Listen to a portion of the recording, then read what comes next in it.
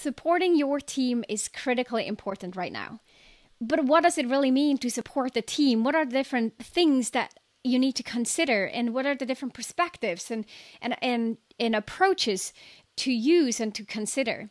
This is a framework here, this triangle that I'm going to explain to you in a second, that I use with my clients um, to help them understand how to best support their team in this triangle, this triangle has three lines, right? So there's three pillars. The first one is information. So this is all about which information needs to go to whom, when, how to document information, how to um, set up specific information flows to support your team right now, um, to give them the why and the what that they need to know.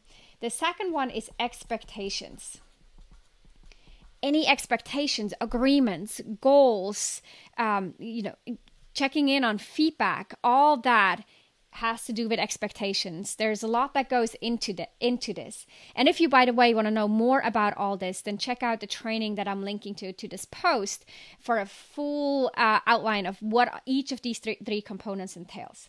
But this is expectations, and then the third pillar when it comes to supporting your team has to do with availability. This is availability of your time, so your availability, your presence with the team. How often you meeting them? When are you meeting them? What for are you meeting them? And what is it that um, how are you how do you need to show up to best support the team with your with your actual presence and attention?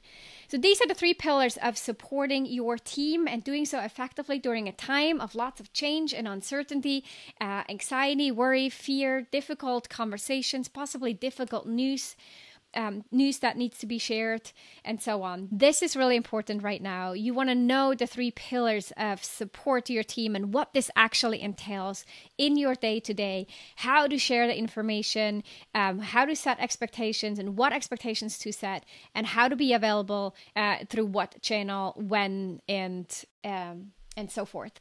If you want to know more about all this, when to lay out all the different aspects that go into this, then check out the training that I'm linking to uh, up in or down below in the in the comment section to this post.